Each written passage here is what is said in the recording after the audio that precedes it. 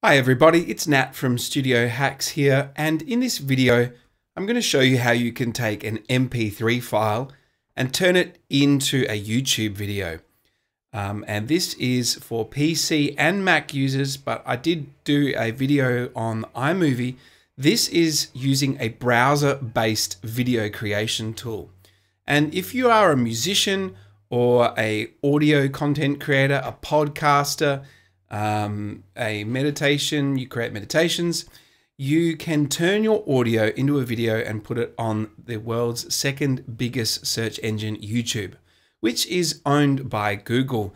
So basically, it's a really simple process. You just need to get your audio file, you need to get an image or a thumbnail, you combine the two in a video creator, and then you get your video and upload that to YouTube. So we have here, if you can see my uh, desktop right here, right here is my uh, MP3 file. This is a remix that I created of a video game uh, called Animal Crossing. I did a lo-fi hip hop remix and I downloaded two images off the internet. This is one uh, of the Animal Crossing video game and this is one of the lo-fi, um, traditional lo-fi sort of images that you see. So first of all, I need to create my thumbnail, my image, um, and I'm using an online tool called Canva for that. And I've logged into Canva with my Google uh, account, and I'm going to hit create design, and then you just type in YouTube thumbnail. And this will, so I've just typed in YouTube, so I'm going to select YouTube thumbnail from here. This is going to give me a bunch of pre-made um, templates. So this is really the easy way to do it because this is pre-formatted. They look good. So let me see if there's just anything here like a, a good. Um, I've got two images, so maybe something that's like split screen or something like that. Something with two images on it. Um, let's have a quick look. Uh, I can just create my own from scratch if I want. That's what I might do actually. Also, hang on.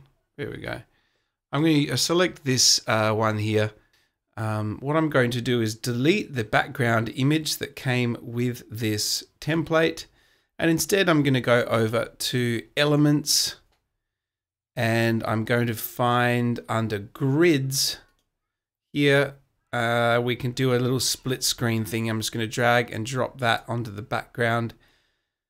Um, and then I'm going to grab my two images and drag them into this area here. And it's going to upload those images there to the Canva uh, online application. And then I can grab one on this side. Let me grab this one and drag it on. And then I can grab this one on the other side. And then I can change that text there. So this is just really simple. This is this is one that I actually created for the actual video with Canva. So that's how I do it. And then you just hit download and select where you want to download that image. So that's the image taken care of. Now I'm going to use an online application called Adobe Spark. And I will leave the link to both Canva and Adobe Spark uh, in the description of this video. So it's a, in a similar way to that we used Canva to create an online image. Uh, we can use this. This is sort of like iMovie or Windows Media, uh, Windows Movie Maker, but it's online. So I'm going to hit Create Project, and then um, I'm going to select Video. And uh, I did have a mess around with this before. So I'm going to call this, so you have to name your project.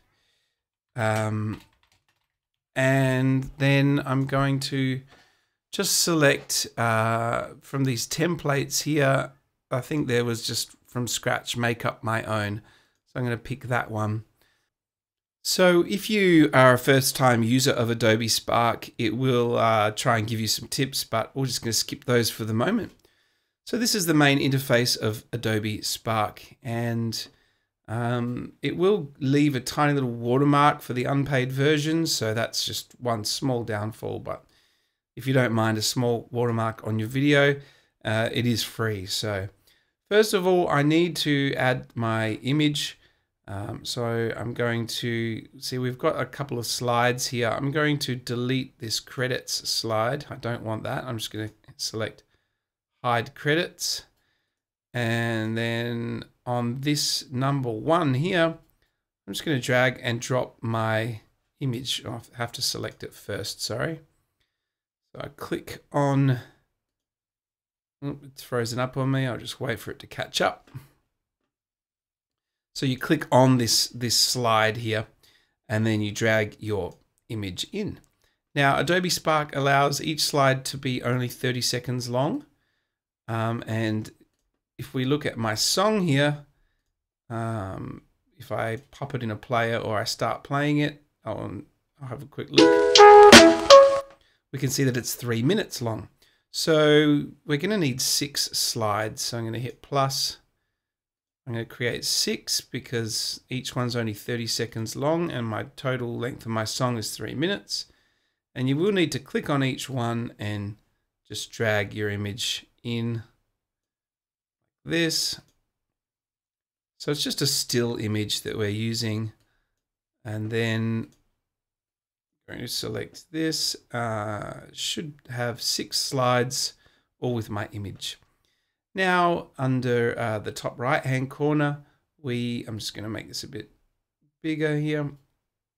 Um, we do have the option to add music. So I'm going to select music and they have some uh, stock music there, but I'm going to select add my own. And then from my desktop, I'm going to upload the audio for this. And then it should take it's saying here adding song, so it should take just a, a moment to upload. And while that's uploading, I'm going to go through each of these slides and just change the length of each slide to 30 seconds. 30 seconds. 30 seconds. And so our whole song, our whole video should be now three minutes in length. And then, so it's successfully added my music. So if I select preview up the top,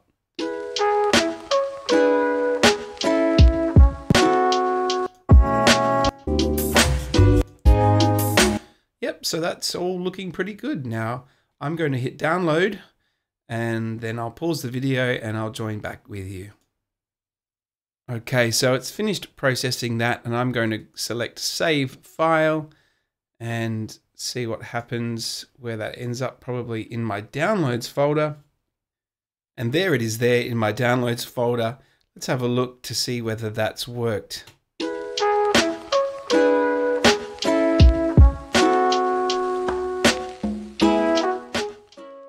Okay, so that looks great. That's turned my audio into a nice video. I can upload that straight to YouTube.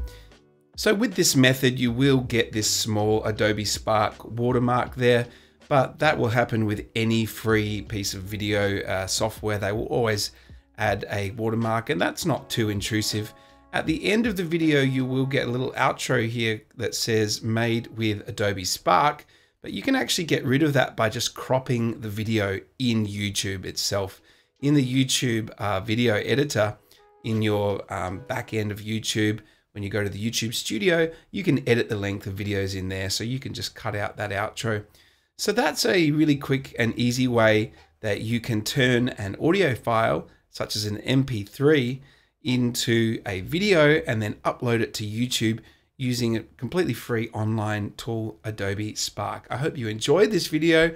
Make sure you subscribe to my channel if you found this content valuable, and I will see you next time. Thank you.